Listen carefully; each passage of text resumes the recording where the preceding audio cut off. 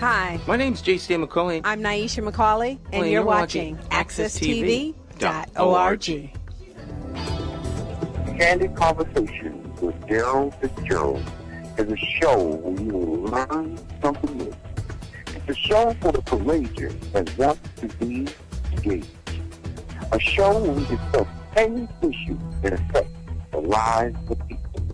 And a show where we take inventory of our lives decisions. Welcome to Candid Conversation with Darrell Fitzgerald.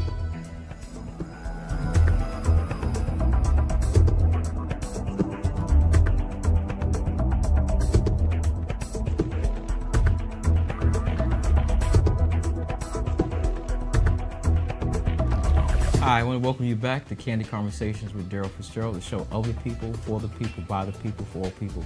Uh, we have a very powerful show um, prepared for you today. Uh, the title of our show is called Social Graces, Diversity, Access, Inclusion, and Acceptance in Employment, Education, Business, and the Entertainment Industry. So there's a wide array of things we're going to be talking about today, and I do have a powerful lineup of guests here in the studio uh, with me.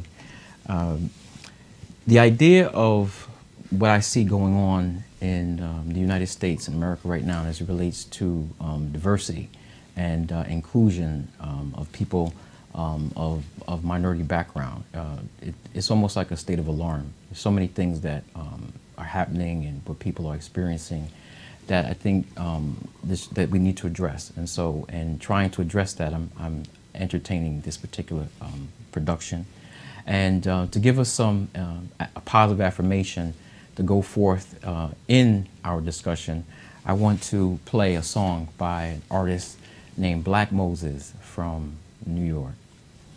This song is called Greatness.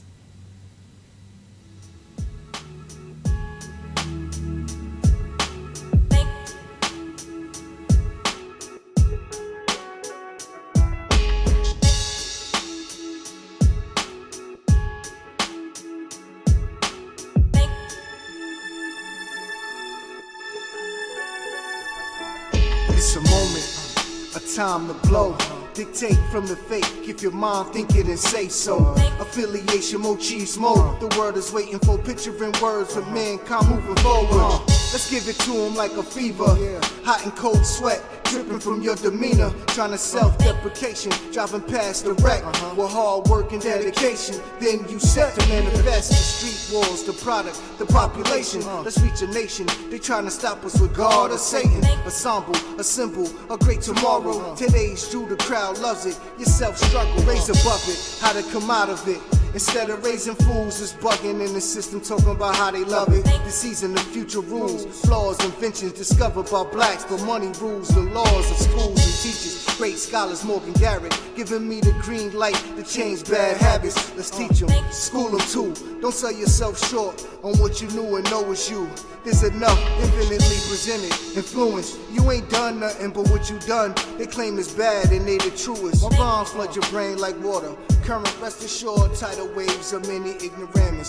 Slaves, finally raising glasses. Sons and daughters, building restricted borders. If you're conscious, you can't ignore us. I'm deep on radio waves. Moses' uh-huh. frequency is clear. Walking uh-huh. reception, the wonder days. My career will triumph, knowledge our past theories. Mockeries that equate. You uh. got a problem with me, makes it set in stone and sum up. Lessons, Coretta Stones, purchase illusions, far from atomic love. Yeah, my market skills bust, strategize and build. A light year success, fulfill doubles and careers that's ill. Chronic action, my slinger prove it. No more waiting on, here comes your quiet storm, many miles from Lewis. 65 Yukon, I'm rightfully son. I'm never wrong, son. I'm rightfully born one. Yeah, yeah, yeah, yeah. A king, a king, a king. I'm the greatest, the greatest. I'm the greatest. Uh huh. Uh huh. I said, yeah, yeah, yeah. I'm a king, a king, I'm nigga. A king. I'm the greatest, the greatest. I'm the greatest. I'm a great man, great I'm man. Great man. I said, yeah, yeah, said, yeah. I'm a king, a king, I'm nigga. A king. I'm the greatest, the greatest. I'm the greatest. I'm a great man, a great man. A great man. Yeah, yeah. Yeah. I want to thank uh, Black Moses for that particular uh, song of affirmation. That's Greatness by Black Moses, produced by Joseph Poog, written by Jonathan Moses McNeil, engineered by Jonathan Moses McNeil and Joseph Poog, and recorded by Joseph Poog. Uh, dealing with some of the things that uh, people who are minority and who are African American are dealing with um, in the United States as relates to um, employment, uh, inclusion, and acceptance.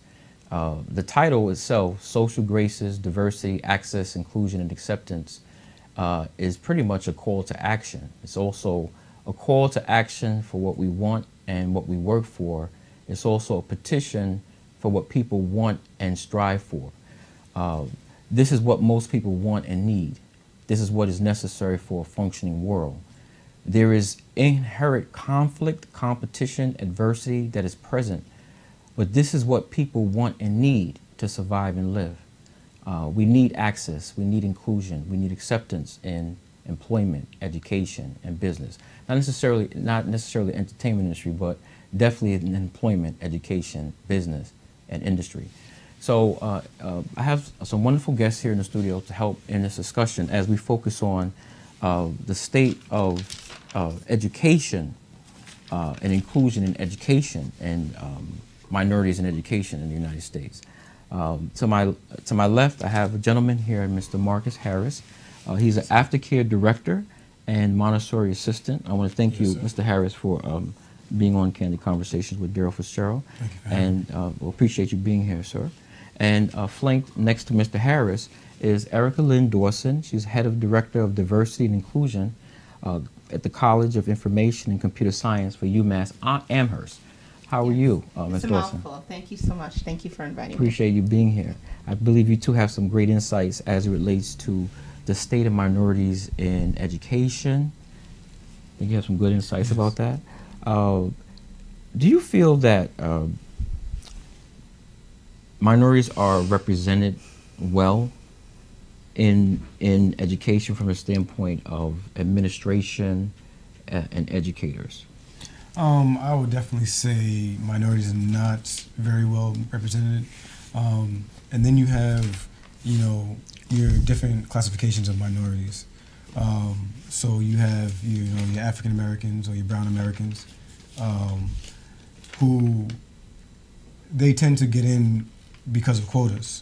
Um, but throughout the year, you might see, you know, at the beginning of the year they're hired, but the middle of the year they're already gone and replaced with somebody else. You know, because at the beginning of the year that quota is, you know, asked for and it's filled, but by that time they can ease that person out, and that has happened a lot. In my in my experience, just to add to yours, um, I found that in higher education, I wasn't hired as part of a quota.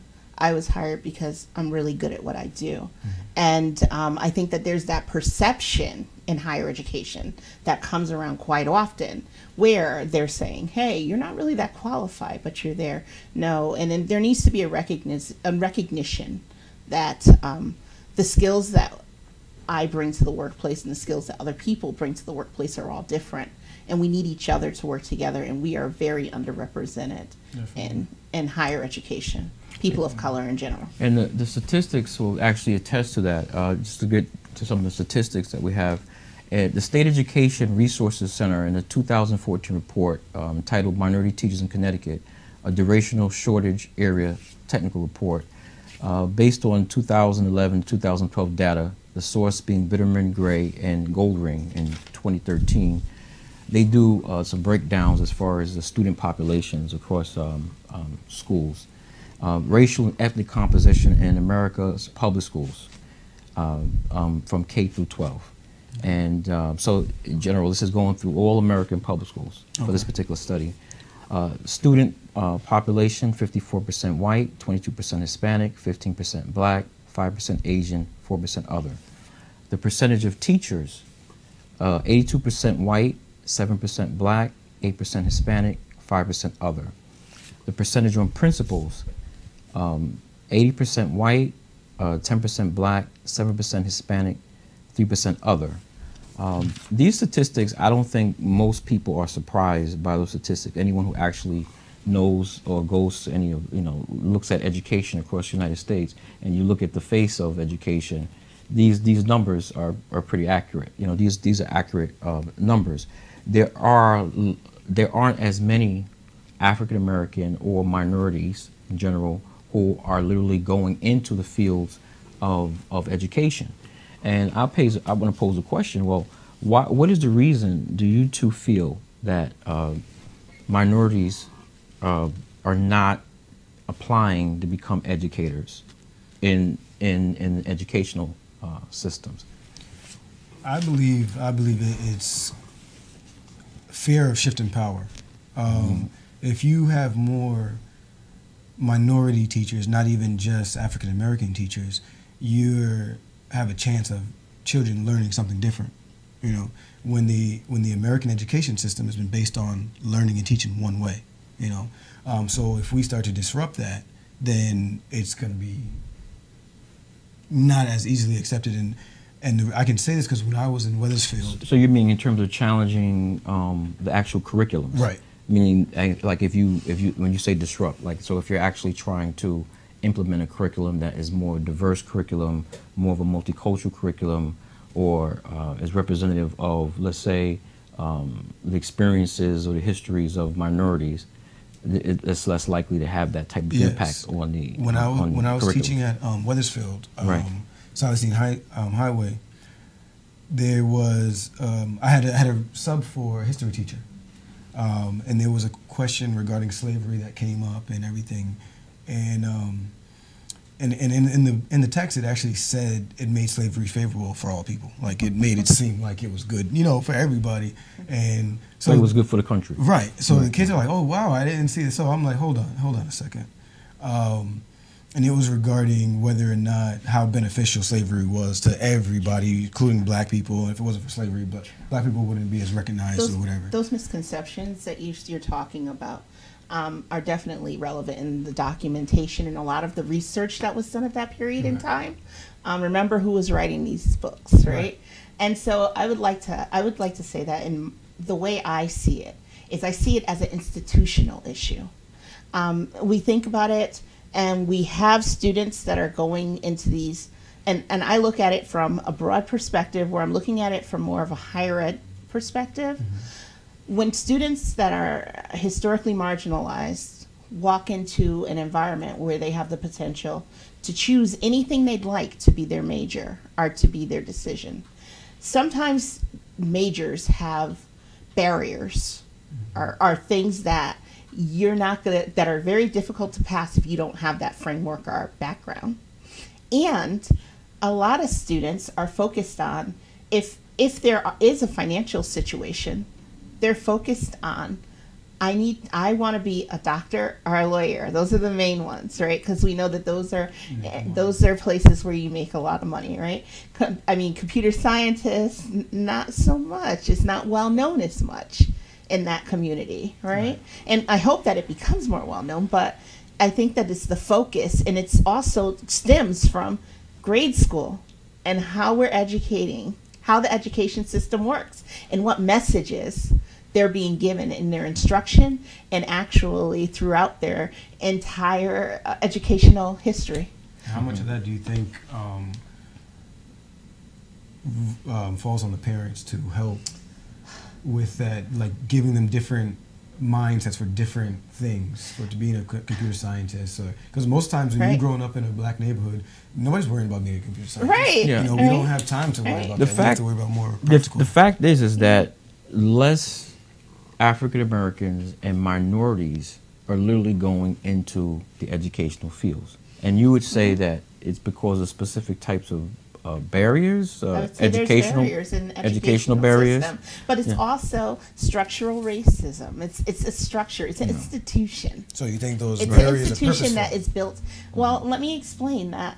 And, and this is just in general. When schools were created and these universities were created, they were not created for women.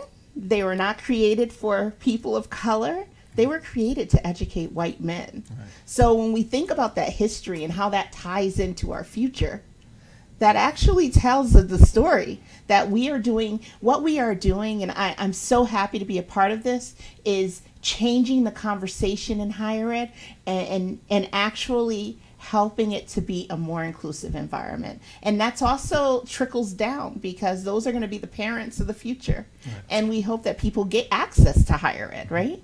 Right. What I'm looking at is mm-hmm. what would like as a as a person who is a, of a of African American descent.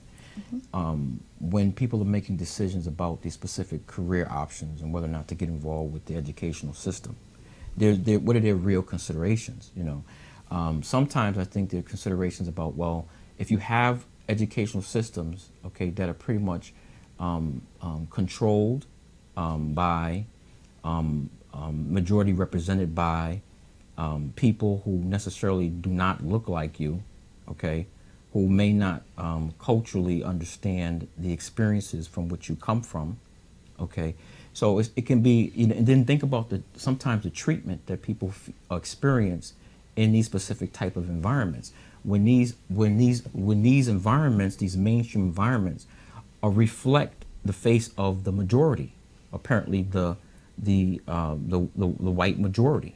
Okay, and you may even experience a lot of hostility as a as an employee in that work environment there's a lot of things that may go on that's um, competitive in that environment. You may not feel as if you really are welcomed in that environment, accepted in that environment, um, you know, um, embraced in that environment. Mm-hmm. So, I mean, I don't know if, if anyone here can relate to being in those kind of environments mm-hmm. and experiencing a certain level of, um, let's say, um, uh, prejudice, uh, mm-hmm. ignorance, um, and things of that sort. Does anyone here have you ever experienced anything like that? Um, I mean, as a as a as a student in your own education, and then as an administrator in the educational system. I'll first ask uh, you, Mr. Harris.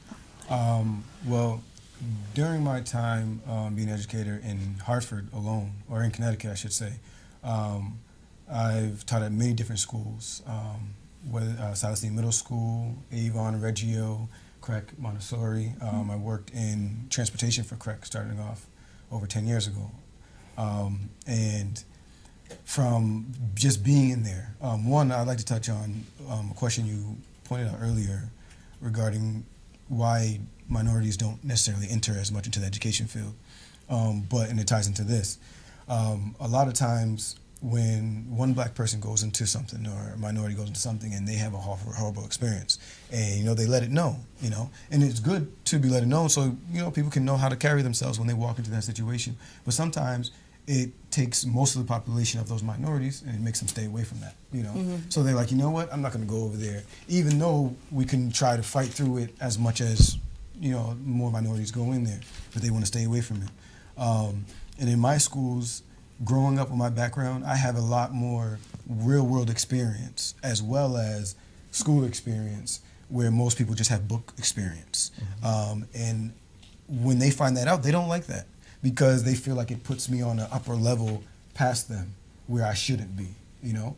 Um, so there was times where they tried to come against me and make me seem like I was doing something other than what was happening um, just because they were jealous of how I interacted with students, how I was able to relate to them. Um, you were doing a good job. Exactly. Yeah, it can be very difficult in these environments um, when you are working differently than other people, and I can understand that from what you were saying in your personal experience. Um, in my experience in the past, I have been in very restrictive environments, environments that really didn't see my brilliance. Mm-hmm. They really didn't see um, my worth, right? Mm-hmm. And I think that the tone is set from the top down. Mm-hmm. Um, I'm very blessed. I work in a college. My college is, I have a wonderful dean. Her name is Dean Laura Haas, and um, she really creates a collaborative environment where I feel comfortable. For example, um, in previous employment and previous job searches, something I used to do and I always had to do was I needed to flat iron my hair. Mm. I would always flat iron my hair because I thought that I, I needed to flat iron my hair. When I started flat ironing my hair, I started getting jobs. Hmm. When I came in with my natural hair, jobs weren't so abundant, right? And so here it is. I was a woman with a, two bachelor degrees and a master's degree, and I couldn't find employment at points in my life. So, yes, my experience is totally different than someone else's experience, especially someone who is not from a historically marginalized community, right? right? But I know that I have strength in who I am, and I was able to find those spaces and make them more welcoming. It's interesting, too. Um, inclusiveness in those environments is, is really um, important. I often see through the social behaviors of people who represent the mainstream. Sometimes you're not included in, like, you may, you know how they say birds of a feather flock together, per mm -hmm. se, and you would find yourself like uh, people who are, who look alike interacting a certain way amongst each other right. and communicating a certain way amongst each other, but you're, they don't do the same with you. Like, why are they not why are they not doing the same with you? It, it, it's you, very similar to the, the, this phenomenon of we always hear people, and this is I always laugh when I hear this because I always hear about everyone's black friend. Right, right. if I go to right, someone, I have some people that I engage with, well, and they'll say I have black friends, but then I look at their wedding pictures, and their wedding pictures are all um, white are, are not there's no black friends in the wedding pictures. And then i look at who was invited to the picnic to eat burgers with them as a family. And it's usually a picture of a segregated community to a certain extent. And that is how we live. We live in segregated communities. And that's something that also ties into it because if i'm working and i'm in an employment situation and i become friendly with you i have more access to you you feel more comfortable to talk to me. If there's a problem, if there's something I, I you think that I can improve to be better, you're going to constantly mentor me and help me to get to that next level. Right. Whereas the person that it might be alone will might not have those opportunities because you get to watch other people being molded for positions when right. you weren't included in the conversation. It's, it's, so interesting. There are people who are kind of like moving in the in the right direction or attempting to move in the right direction you know, and, and I'm not trying to, you know, generalize or de uh, demonize or, uh, you know, certain, uh, you know, uh, make, make a, a, blank statement that's like a generalization or a stereotype. Uh, by, by no means, but you know, we there even in situations where the mainstream, you'll have the people who hold the positions of power, who are also the ones who are making the decisions of whether or not they're going to allow a certain amount of um, inclusivity or diversity or inclusion by minorities. So that, that's that's also mm -hmm. another um, interesting um, uh, dynamic. And I've worked in those environments right. where it was very difficult to navigate. Um, uh, micromanaging became a, a thing of of mm -hmm. daily occurrence. Reality, right? So it's a reality, right? Mm -hmm. And um, being told that you're not as good as became a reality and it wasn't the words spoken directly it was indirectly implied right, right. through there and and i would love I, I think that unconscious bias that biases that we have that are that we are not conscious of do exist but there are also conscious biases that also exist and hopefully the idea is that working throughout different strategies I think that it takes strategies to break down a right. lot of that institutionalized, right. um, those institutionalized issues that we have in these workplaces. Right. Because without a comprehensive strategy, right. you're not going to get that far. But if you bring a team of people together that all reflect reflect all different backgrounds, cultures, and ethnicities, it's it's a powerful force. It is definitely. Okay. Well, I really appreciate um, mm -hmm. the perspective that you brought to the table. Thank you, uh, Mr. Harris, and also Ms. Dawson. uh, thank you for being here. On that note, we're going to take a thank break so here much. at Candid Conversation with Darrell Fitzgerald. See you right after our station break.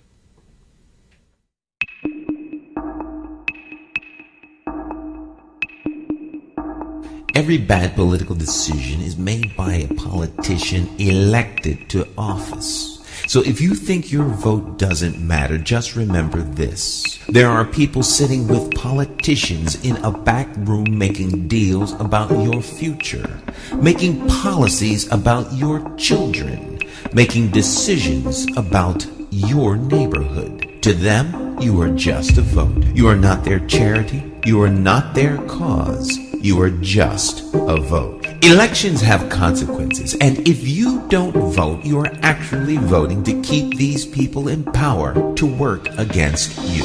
Now, more than ever, you need to make your vote count. It is time to clear the air and vote for a mayor who is unbought, unbossed, trusted, and accountable to you the constituent. My name is Jay Stan McCauley. I am an independent thinker and I approve this message. I'm asking you for your vote on Tuesday, November the 5th, 2019, in the general election for mayor of the city of Hartford. For more information, visit McCauleyformayor.com. Declare your independence from the plantation of party politics and free your political mind.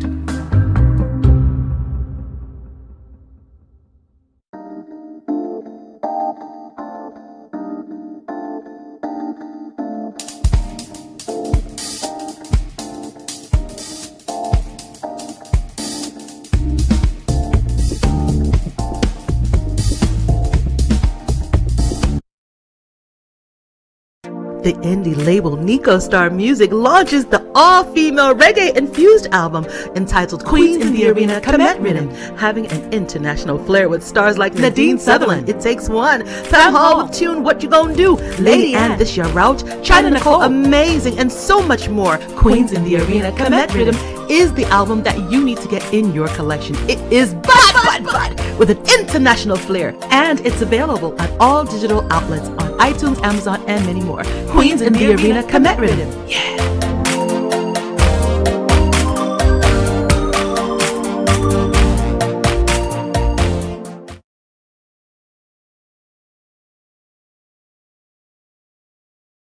The indie label Nico Star Music launches the all-female reggae-infused album entitled Queens in the Arena Comet Rhythm, having an international flair with stars like Nadine Sutherland, It Takes One, Pam Hall with tune What You Gonna Do, Lady Ann This Year Route, China Nicole Amazing, and so much more. Queens in the Arena Comet Rhythm is the album that you need to get in your collection. It is bad, bad, bad, with an international flair, and it's available at all digital outlets on iTunes, Amazon, and many more. Queens in the Arena Comet Rhythm. Yeah.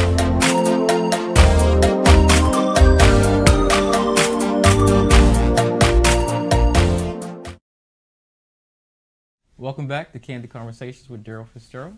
And uh, we're going to continue our conversation with this topic social graces, uh, diversity, access, inclusion, and acceptance in employment, education, business, and entertainment industry.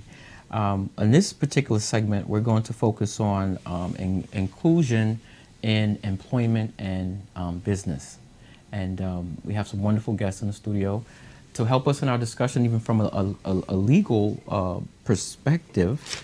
I have uh, uh, S. Goldsby. Uh, she's an associate attorney at Neubert, Pepe, and Monteith PC, and founder and principal at Black Esquire LLC.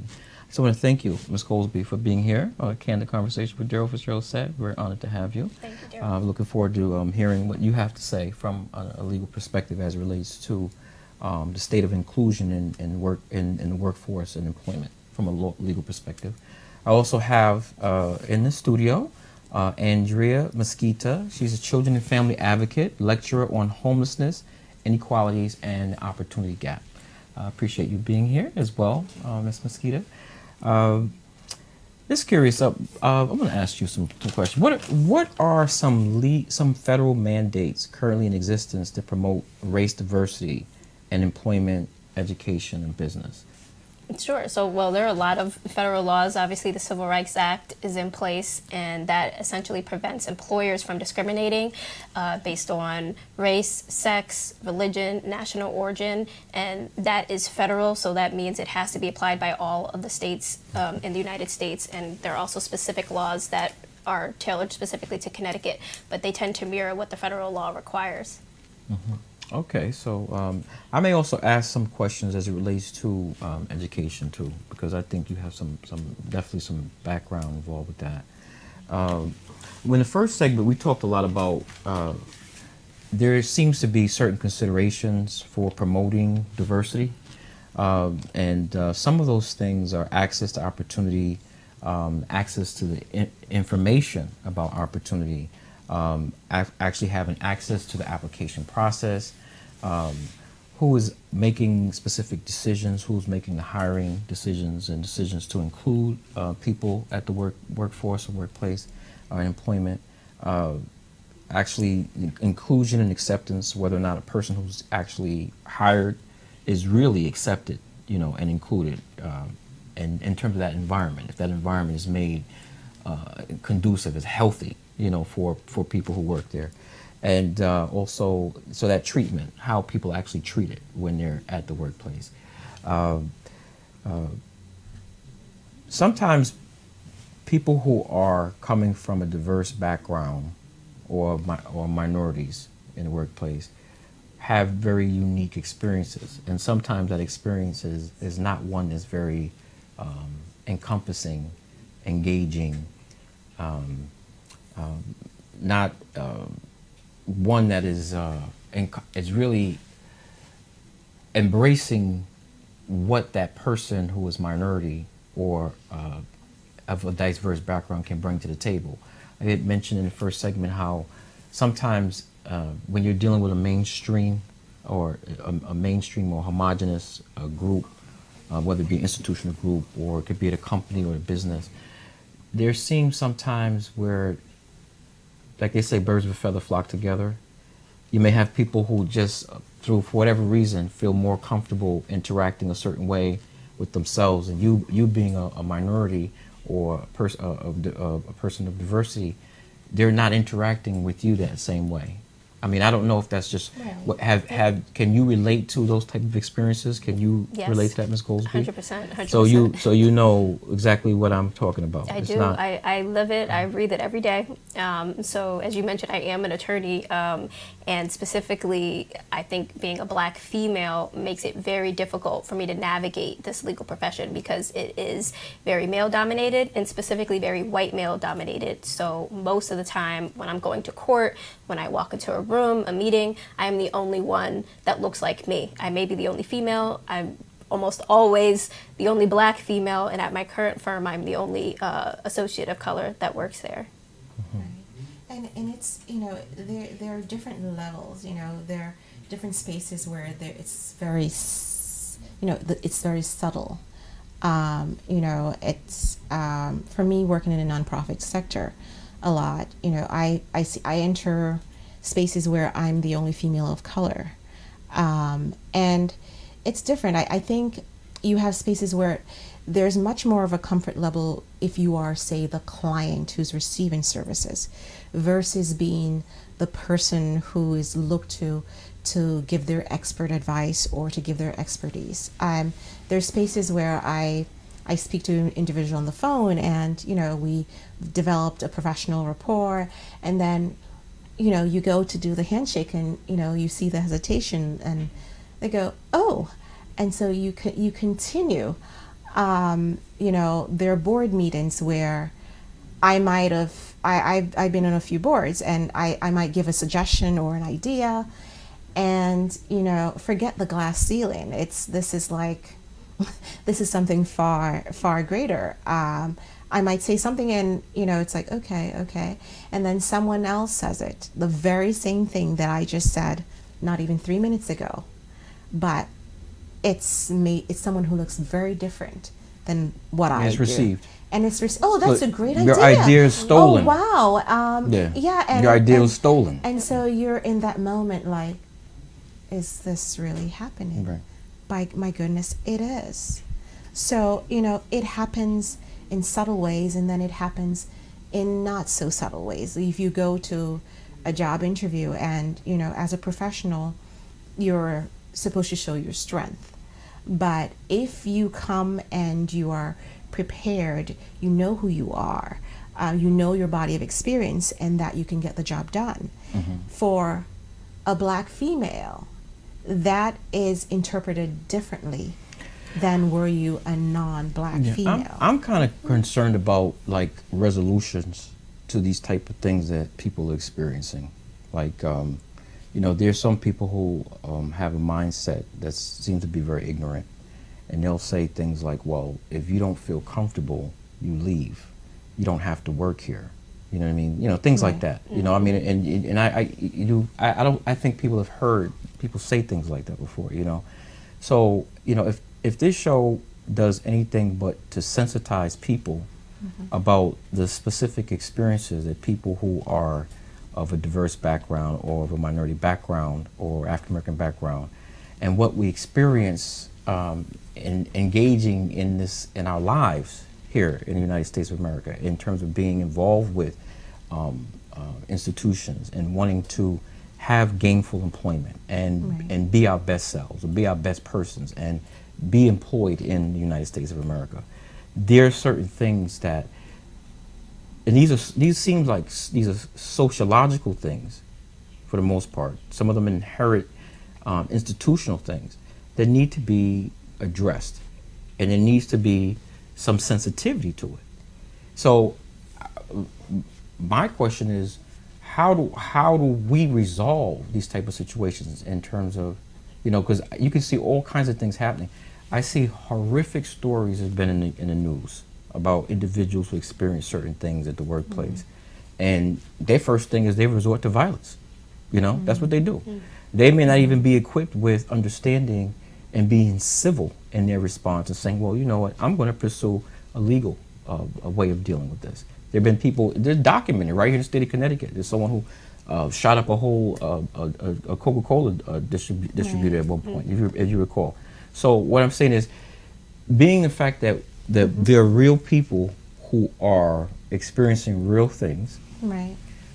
What is the choice? Either you be a part of it, you be separate, you well, be separated. Well, and, and you the, go, go and back to is, uh, deseg- be segregated. And and that is the thing because you are having a situation now where we we think of about Jim Crow and the history of Jim Crow, and it seemed sometimes so far fetched and so far space like we as a country would like to think have gone beyond that. But where we find ourselves is actually going back to that state of Jim Crow.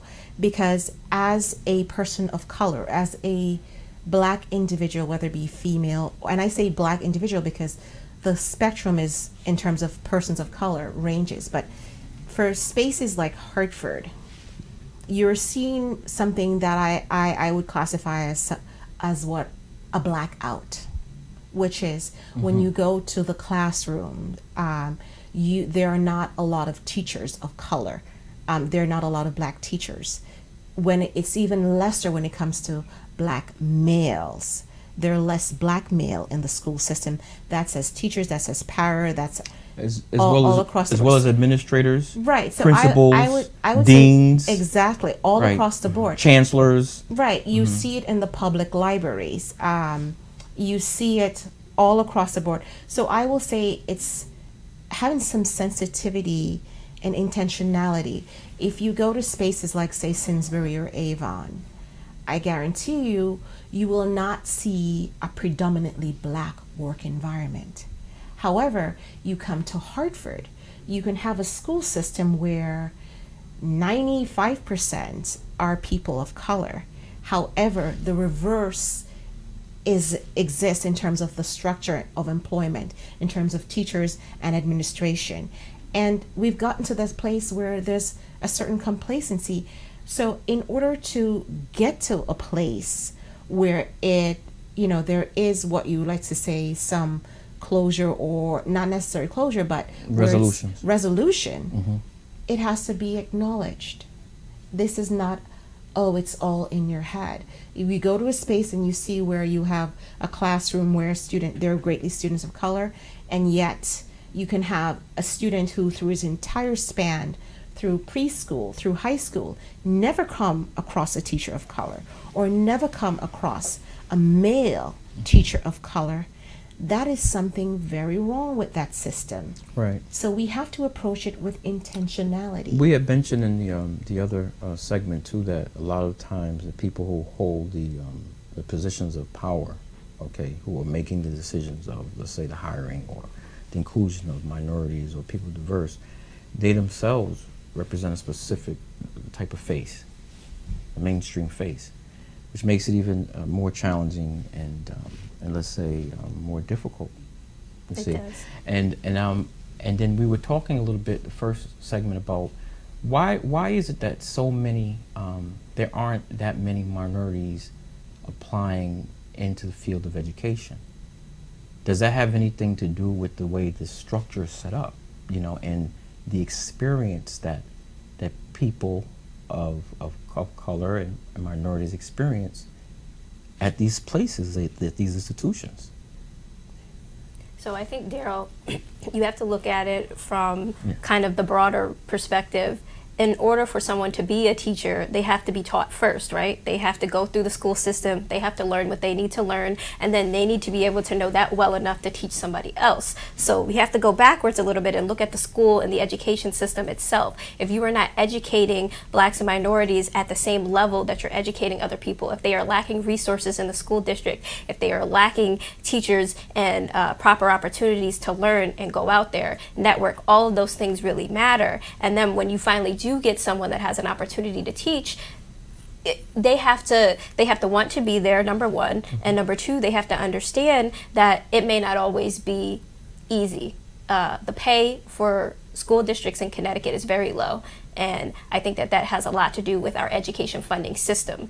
The Connecticut Supreme Court last year actually ruled on a case for the Connecticut Coalition of Education Funding versus Rell, and they talked about the entire Connecticut funding system. And it's a fact that uh, school districts, specifically like Hartford and New Haven, receive less resources. And in turn, because of the population being more minorities, then that's less resources going to those minorities as well. And then going through the system, it makes it more difficult for them to even be educated and know that they can be greater and to want to give back to the system that helped bring them up, right? So if somebody went to a public school district here in Connecticut and they didn't feel like they learned what they needed to learn, if they didn't feel like they were supported, then why would they want to come back and, and, and teach why would they want to be associated right. with something that they didn't feel was was useful for them? Now there's obviously plenty of people that do that and, and they come back because they want to make the system better. But in order to make something better you have to acknowledge first that there's a problem and want to actually fix it.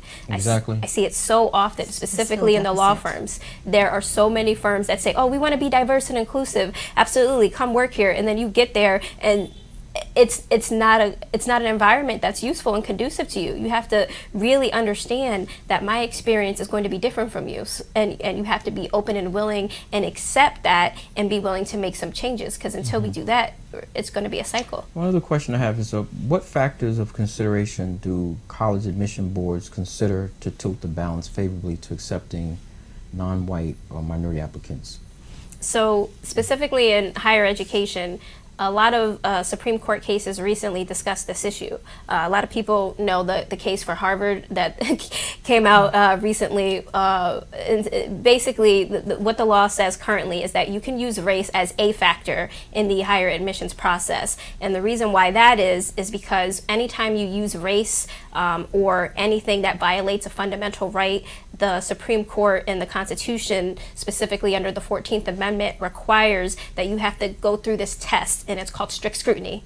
The first factor of the strict scrutiny test says that you have to have a compelling state interest to use that resource. So in this case, race. That's the first step. And then once you get over that hurdle, you also then have to have that use of race be narrowly tailored. And so what Supreme Court cases are saying is that a diverse student body is considered a compelling state interest. A lot of people can understand and recognize that you learn and you benefit from having other people that are different from you. That's law. The Supreme Court has agreed with that in Grutter versus Bollinger.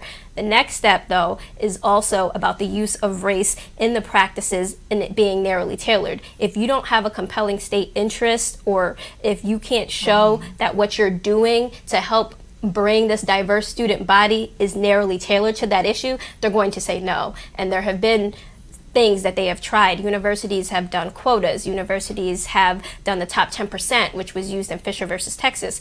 And the Supreme Court is not always in agreement with that because it's not narrowly tailored to that issue. I personally believe that that creates an obstacle because in order for there to be more minorities, how else are you going to do that? Race has to be a factor. It has to be used, and so that's something that they've been doing, um, and I think it works at least to some extent successfully. But there's a lot more that I think can be done to increase the diversity.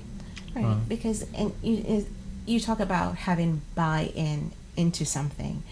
Um, and a lot of a lot of places people are mistaken that when you say using race it's not oh you're black that you're going to get in the discussion i often have with students whether they be in middle school or high school and they're getting ready for the process of college admission is this race is a factor but before you get to that you have to you have to have the grades you have to have the package so and and I think people get confused. It's like, oh, you're here because you're black. No, I'm here because I've earned it. Being black is incidental, or being a person of color is incidental. It doesn't matter what color I am. I first have to have those grades. I first have to have the the the the, the package, whether it be am I involved in my community? Do I volunteer? So even in situation where race involved, you're bringing to the table, you're at the table, you're present at the table because you've earned that. I still, even to this day, when I talk to my children, because this the rate they're often in spaces where they might be the only or one off. It's like, why is it I'm this? It's it is the way it is systematically, but work on being present. Work on being in the situation where you're doing what you need to to be at that table because exactly. race is a factor. It is the factor after you've earned the place at the table. Right. I'm not here necessarily because because I'm black. Right. I'm here because I'm black in spite of being black. Right. And a lot of people assume that, that, that they make these uh, false assumptions, like you said. That, right, and that, it, that person is there simply because they got in. You've heard that before. Exactly, and, and the a, thing is, it's a not a or uh, a, a, a, law that a law that right, says you right. can come, and it's it's not a one way street. Um, research has test. shown mm-hmm. that there are benefits to having people who are of different backgrounds who whether it be it's not just race it's also socioeconomic standard because that makes for a richer if you're part of an organization that makes for a richer playing field in terms of but, having resolutions. but ms goldsby what you were saying is that they're using there are certain school districts and educational systems that are trying to say what andrea is saying is not applicable to that environment. Right. right. They're using the law that way, right? Right, right. So there have been cases that are brought, and even in the case of Harvard, there are cases where they're saying there's examples of reverse discrimination where Asian students are not being accepted into uh, certain higher education institutions, specifically in this case Harvard, and I believe the other one was uh, the University of North Carolina. And because of the practices that have been in place to, I guess, allow more minorities to be considered for admission, they're saying that that's a problem. And I, I, personally have issue with that. It's not, as Andrea said, it's not that you got in because you were black. You got in because you had the skills, you were capable of doing the work, but they considered the fact that you may have had barriers, you may have had obstacles and hurdles that you had to go over that somebody else that wasn't like you didn't have. Right. And that's important. Well, we appreciate mm-hmm. both your sentiments here. Uh, they're very, very, very insightful. I want to thank you, Ms. Goldsby, for being here, as well as you, uh, Ms. Mesquita. Thank you so much for being thank Candid you. Conversation with Darrell. And we're, we're going to make we're going to go to a break right now here at Candid Conversations with Darrell Show. Thank you. We'll be back after our break. How do you define evil? Is it the pedophile school administrator or taxation without representation? Is it the gatekeeping community leaders who sell out the very people they are fighting for? Or is evil the politician that puts out lies and takes in cash? However you may classify evil, having to choose the lesser of two evils still leaves you with evil. Nowhere does this rule apply more than during an election for mayor. Choosing a candidate that is the lesser of two evils still leaves you with evil. No wonder so many people don't vote. It's time for constituents to flip the script and vote for a mayor you can trust. My name is J. Stan McCauley. I approve this message, and I am asking you for your vote on Tuesday, November the 5th, 2019, in the general election. I, like you, am an independent thinker. So let's sit down and talk about my path to victory and why my plan for Hartford will work. Stop listening to the uninformed evil interests that tell you I can't win. For more information, visit McCauleyforMayor.com. It's time to leave the plantation of party politics and free your political mind.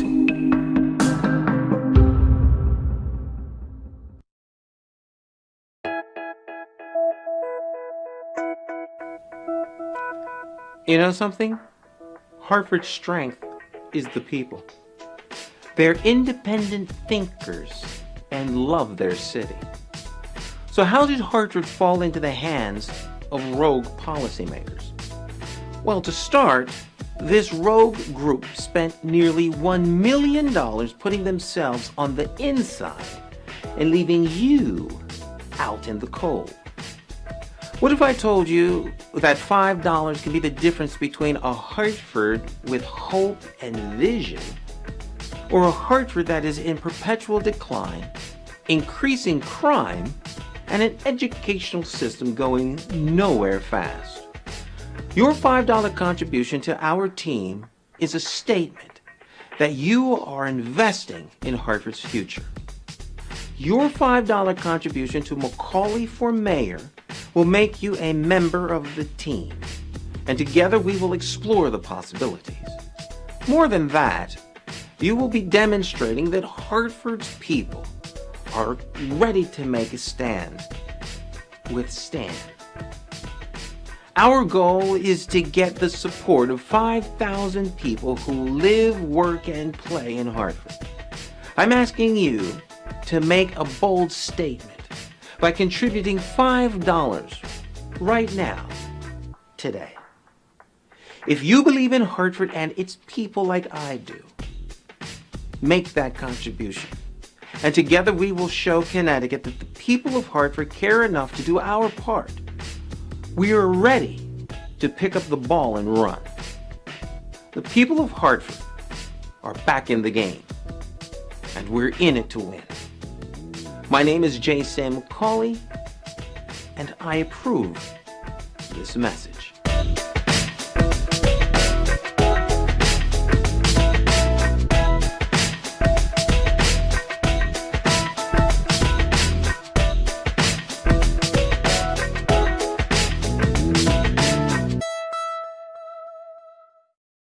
Welcome back to Candid Conversations with Darrell Fitzgerald. We're going to continue our conversation as relates to like social graces and inclusion and diversity uh, in different types of industries. Um, we're going to look at uh, in this segment um, inclusion and diversity in the uh, um, entertainment industry, which is like a whole different realm from, let's say, education um, and employment. I know we're trying to get through a lot of uh, information, but you know we'll, we'll do our best.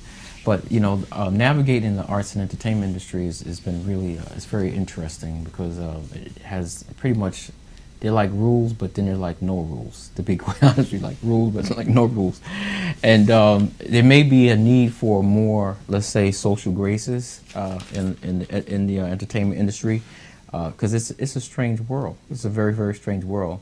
So as we look at how um, uh, minorities, uh, uh, people of color are included or accepted, it's really interesting to see what type of social behaviors and how people interact in the, uh, in the uh, entertainment industry itself. A lot of it can be based on uh, nepotism, um, a lot of um, narcissism, a lot of, you know, the, you being, like, for the sake of being who you are, or let's say being a brand, or um, it's all about you. You know, it's all about that, that particular entity or that brand. And you find that there's not a lot of times a lot of integrity, you know, in right. terms of dealing with the, um, the business deals. You know, like people will start out one way uh, and then change kind of like midstream. Mm-hmm. Um, uh, say that they're going to work with you one way, and then all of a sudden, for whatever reasons, and respectfully so, everybody has their reasons for whatever they do, but it, it it's it's so much. Um, I would say strangeness. Right. And I don't, I don't know if, if you know, you, you have some background, Mr. Harris, in, um, in in entertainment world, somewhat. Actually, I am a poet and a writer. Um, I perform at different open mics and stuff like that. Um, and I also I have a lot of friends now who are hip hop artists, singers, actors, um, doing di- very various things. But as far as social graces um, regarding the entertainment industry, just like you said, there's rules, but there's no rules. Like there's rules that that they take as m- business morals in a way, but that they don't have to follow. And when they choose not to, they don't follow them because it's it's not beneficial, most beneficial to them. Um, whereas You have know, an example? We'll let um, you look at Bill Cosby, you know, and the stuff that happened to him. You look at um, And be specific. What do you mean? um, so Bill Cosby in the entertainment industry was looking to purchase um, CBS. CBS, and that alone would have elevated the state of African American people because it would have gave us another channel. Not saying that he would have made that you know like a secondary BET, but I'm sure it would have been geared more to showing real things, real information about African American people and other minorities versus just mm. seeing Caucasians on TV everywhere. I remember when I was young, watching TV and seeing all these white people on TV, not really seeing black people on TV, it made me feel, you know, more like okay, white people must be okay, you know, And we must and black people must not right. be, you know, and that's me as a black child thinking this, and I didn't know any better. I'm seeing, I'm learning from television. I grew up in foster homes, so that television was more of my adult, my parent, than anybody else. And at the same time, you're accepting, like it's like we, we actually accept all that imagery. Exactly. You know, and, and as, as as if we're included too, and we're accepting. And it's interesting as we get older and we start to like go into the workforce and different things like that, and we find even more hostilities, And despite the fact that maybe, let's say, you accept all the you accept the mainstream, you want to be involved, you want to be integrated, you want to play your role, Right. and then for let's say competitive reasons competitive reasons where let's say people who see you as a threat or may not want you to have an opportunity or have you have you have the job that they want would have or yeah. you're experiencing this hostility But and, and not only is it coming from them, because now for those same reasons that I just described Right. to you about myself being a young child, a young black child, and and now seeing white people on TV, now I'm like, oh, white people must be better, right? So now if I get into a place where there's a majority of white coworkers, and I'm like, wow, I'm the man, I'm the guy, I'm I'm him here, you know. Now they say, oh, well, now we're looking to I hire must, another I must be guy. special. Right, I must be special. Now they're looking to hire another black guy. Oh no, you can't hire him because I'm the special one. You know, because if you hire him, then I'm watered down a little bit. Or, My but really, importance, what I bring to the table. right, Yeah. is, is not as important anymore because now you have somebody else who looks like me, and you're gonna be running to them for the ideas that you would have came to me for. Right. So now, not only are they keeping you down, now me, Uncle Tom, I'm keeping you down because I don't want you here. I'm the crab in the barrel that is keeping you down at the bottom of the barrel. Because if I can't, and I can't rise above because I'm not letting my other people come in and rise up Right. so we can rise together and not necessarily take over, but show our true value collectively. Yeah, and it, it goes to opportunity. It we get to a space where where we we and when I say we, it's it's not it's it's also people of color where we're we're so used to the idea of what is right and the concept of white being right. Um, I, I remember when I was in college and um, a, fr- a friend of I a friend of a friend of mine that I dormed with, um, she said she said to me, um, I don't you, you, I don't see you as black. that's interesting Um, and I said, What do you mean you don't see me as black? She says, Well, you don't act black, you don't sound black, you don't dress black. but does I she see the color of your skin I said, Have you looked at me? Yeah. Um, you know, there are rare occasions where it gets darker than me. How can you not see that? She says, Well, I mean, I know you, I know, I know, but, you know, you don't act the way black people are supposed to. And then, so I just pose this question because, you know, pardon my ignorance, how are black people supposed to act? right Um, well, you know, the men, their pants, they dress with their pants hanging. Um, you know, the woman, they're loose or they don't speak the way you do or they don't have the same social graces. And I said, and where did you get this misconceived perception from? She says, well, and she was from Iran, you know. Mm. She says, well, when I watch TV, you know, all the black people I saw, Right. they did not look like you. And that's how so, so that's why I don't see you as black. So because she did not see me as black, she had more of a comfort level Right. with associating herself. I, I, you know, you talk about feeling certain comfort with people who look more like you. It, that's why it has to come with intentionality that you know the value of working with or being in a space with someone who is not like you, maybe don't look like you, but you can still work together. There's, there's still, there's added value because of that. Um, I've had people who said, I, I remember going to dance and there was this um, this male. uh, He was not a person of color, and he said, I had straightened my hair, and um, you know, because at that point, I didn't realize. I realize now is that when you're put in certain spaces, it's almost like you have to affirm your blackness by doing certain things. And for me, that was by wearing an afro. Right. Right. And so this person was not a person of color. I'd flat ironed my my hair, and I have what you might call a prep uniform, my nice skirt and shirt and sweater. And he was wowed. He said, "Oh my God, you're beautiful!"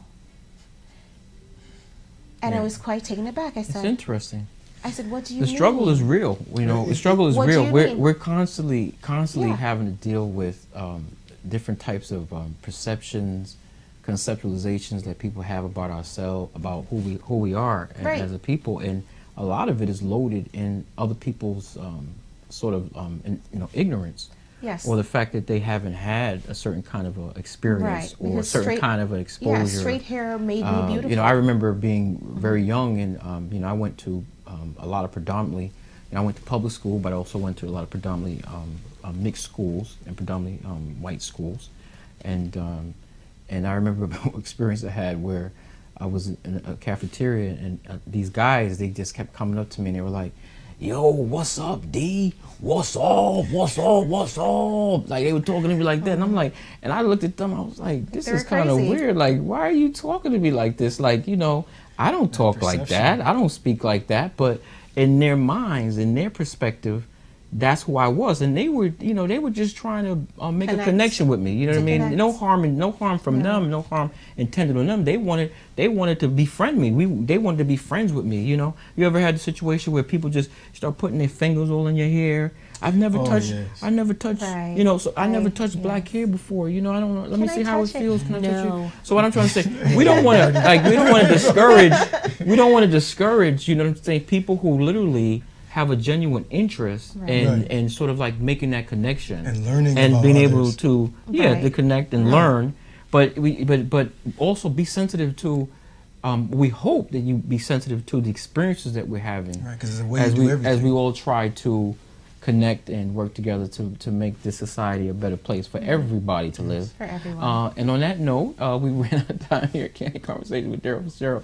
But I do hope that some of the insights that um, uh, came out were very helpful to you uh, as we work toward um, humanizing uh, this world that we live in. And in, in, my, in closing, I just want to say that um, by holding back anyone, you will hold back yourself and hold back the progress of our world. And we reject inequality, we reject ill treatment, we reject disrespect and illegal discriminatory practices. So I just want to thank you for uh, tuning in to another episode of Candid Conversations with Darrell Fitzgerald. See you next time. Yeah, yeah, yeah. A king, a king, a king. I'm the greatest, the greatest, the greatest. Uh huh. Uh huh. I said, yeah, yeah, yeah. I'm a king, a king, I'm a king. I'm the greatest, the greatest, I'm the greatest. I'm a great man, great man. great man I said, yeah, yeah, yeah. I'm a king, a king, nigga. I'm the greatest, the greatest, I'm the greatest. I'm a great man, a great man. Yeah, yeah, yeah.